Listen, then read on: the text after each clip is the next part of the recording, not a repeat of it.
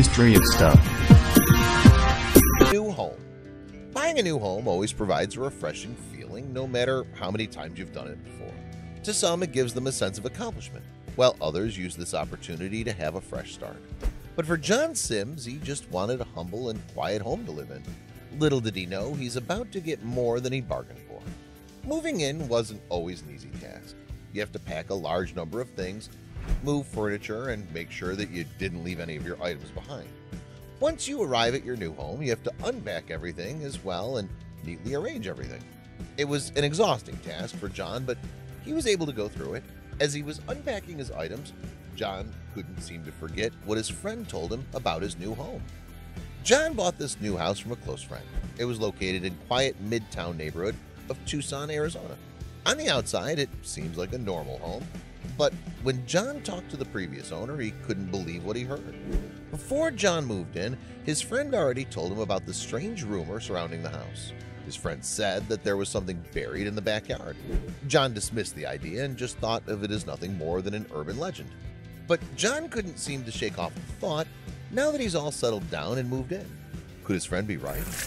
The more John tried to push the idea away from his head, the more he found himself thinking about it again. It gradually became his obsession. John decided he had had enough of it and was determined to get to the bottom of this mystery.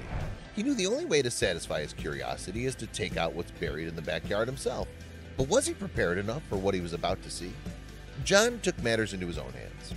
When his friend first told him the story, John jokingly said he might need to borrow a shovel to investigate if it was real. But soon enough, John realized that it might take more than a shovel to get to the bottom of things.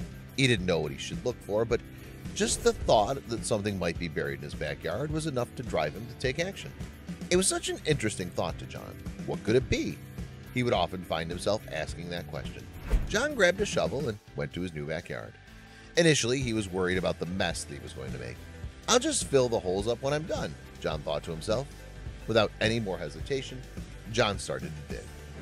Sweat started to drip across his face, and he felt his palms soaked with sweat as well. The summer heat in Arizona was starting to get to him, but his curiosity just wouldn't leave him alone. A lot of people would have given up already and called it a day, but not John. In case he couldn't find anything, he had nothing to lose, aside from ruining his backyard with holes, but if he did find something, he thought that it might potentially change his life. So, he kept digging. John wasn't exactly an expert when it came to excavating lost treasure, but he did his best. He had no idea where he should dig, but he kept doing it anyway. After a few hours of laborious digging, John had already dug up a total of four holes, but to no avail. All the holes were empty. John then called it a day. Could he really give up that easy? Although John had taken a break from digging, he had another idea.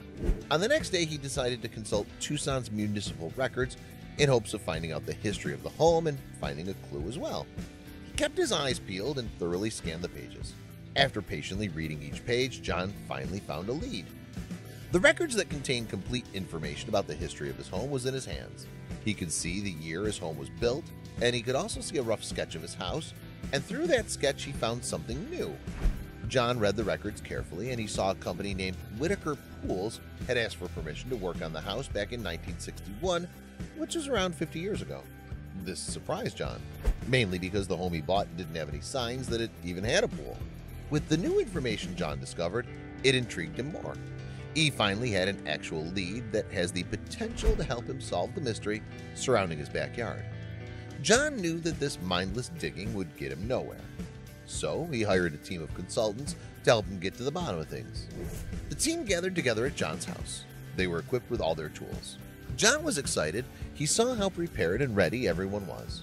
The team of experts then went into John's backyard to investigate. John watched them as they thoroughly went through the grassy backyard with their metal detectors.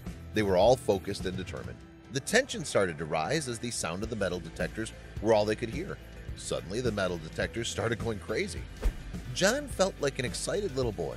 After all, it was like a treasure hunt. The metal detectors didn't only find one area of interest, but two. He was overjoyed. The team of experts carefully marked the area. Everything seemed to be going according to plan. John grabbed his shovel and prepared himself for the most exciting excavation of his life. John started to dig. This time, he was determined to keep digging no matter what it takes. Despite the hot summer heat in Arizona, John didn't let it deter him from digging.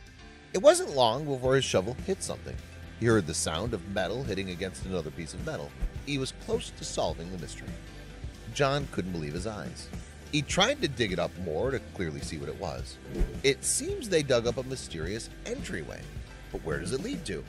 The experts discouraged John from entering the hatch himself since there's a risk that the inside might contain toxic fumes. So they asked for help from more people. As John waited patiently for help to arrive, he couldn't help but ask himself, what could it be? After the extra help arrived at the scene, they opened the mysterious hatch in John's backyard, revealing a spiral staircase that led downstairs. But John knew that simply going down the staircase without a plan could result in disaster. After all, the hatch might have been made more than 50 years ago and the structure might be too unstable. It was too dangerous to go inside, but John didn't want to quit, so he made a plan. John, along with his friends, reinforced the entryway with new rebar and concrete. They did this to minimize the risk of it collapsing when they enter. Aside from that, John also installed an electrical line that would illuminate the place. Before entering the hatch, John and his friends also installed a pipe that would pump fresh air into the entryway. But they had one more problem. John was worried that the stairs were too rusty. Before finally going down the entryway, John did one more thing. He bought a long ladder and securely placed it into the hatch. They were finally ready to go inside. When they reached the bottom of the hatch, they encountered a complex tunnel system. But what was it for? John recalled what he saw in the records. It's possible that Whitaker Pools did construct something in his house 50 years ago, but it wasn't a pool. It seems these witty businessmen saw that the Cold War was an opportunity to expand their services. After all, they realized that building fallout shelters weren't that different from building pools.